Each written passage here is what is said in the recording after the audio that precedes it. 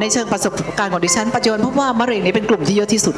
นะคะทุกประเภทเลยแล้วก็มะเร็งลำไส้เยอะที่สุดนะคะ แล้วก็นอกจากนั้นก็เป็นกลุ่มเกิดจากโรคความเสื่อมของร่างกาย เช่นพาร์กินสัน เช่นอัมพฤกษ์เช่นอัลไซเมอร์เช่น ความดัน เช่นเส้นเลือดหัวใจอักเสบนะคะเช่นปลายประสาทอักเสบ เช่นโรคสูงอายุ นะคะคือช่วยเหลือตัวเองไม่ได้นะคะหรือโรคไขข้ออักเสบนะคะจากนั้นก็พวกกลุ่มภูมิแพ้ตัวเองตั้งแต่ SLE ส่วนเอ่อสะเก็ดเงิน โรครูมาตอย โรคมีผื่นแพ้เรื้อรังผิวหนังเหล่านี้เป็นต้นนะคะ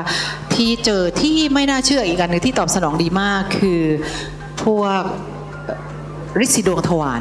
นะคะ เราพบว่าค่อนข้างจะดีในกลุ่มเด็กสมองพิการที่มีชักช่วยเหลือ ช่วยได้ดีมากกลุ่มเด็กออทิสติก ช่วยให้เด็กลดความซึมเด็กมีสมาธิดีขึ้น ร่วมมือในการฝึกสอนให้ช่วยเหลือตัวเองได้ดีมากขึ้นนะคะการตอบสนองของกัญชาแต่ละคนไม่เท่ากันขึ้นกับว่าเอนโดแคนาบินอยในร่างกายนั้น ขาดมากน้อยแค่ไหน ขาดน้อยเติมน้อยขาดมากเติมมากนะคะ เพราะฉะนั้นแต่ละปัจจัยเนี่ยไม่เหมือนกันในแต่ละคน